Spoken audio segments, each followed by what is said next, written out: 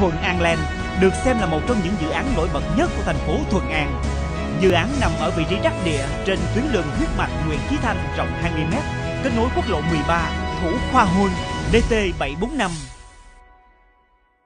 Từ dự án, cư dân dễ dàng di chuyển vào trung tâm thành phố Thủ Dầu Một, thành phố Hồ Chí Minh và Đồng Nai trong vòng 15 đến 20 phút nhằm để đáp ứng tiêu chuẩn sống khắc khe của cư dân và các chuyên gia nước ngoài làm việc trong các khu công nghiệp xung quanh dự án. Thuận An Land sở hữu nhiều tiện ích như trường học, bệnh viện quốc tế và trung tâm thương mại.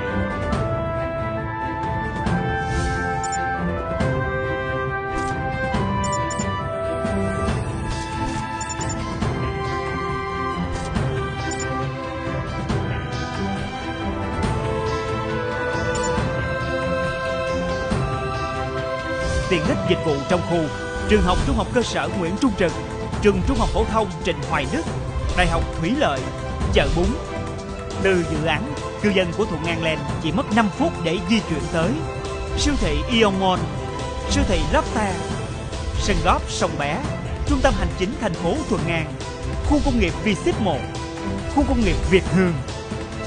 Thuận An Land là dự án có quy mô lớn, được thiết kế theo phong cách châu Âu hiện đại và đa tiện ích khi có tổng diện tích 13.173 m2, 103 căn nhà phố, diện tích nhà 160 đến 250 m2, thiết kế một trệt hai lầu. Có hệ thống điện âm, nước máy, cây xanh, vỉa hè, đèn chiếu sáng đầy đủ tiện nghi. Sở hữu vị trí đắc địa với nhiều tiện ích nổi bật hàng đầu trong khu vực thành phố Thuận An.